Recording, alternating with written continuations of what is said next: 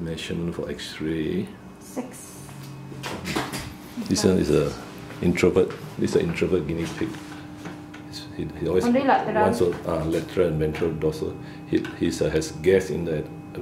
He's not eating for a few days after change of diet, and he's very introvert. He doesn't like to socialize with the owners.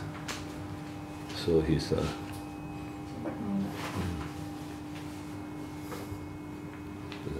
position first.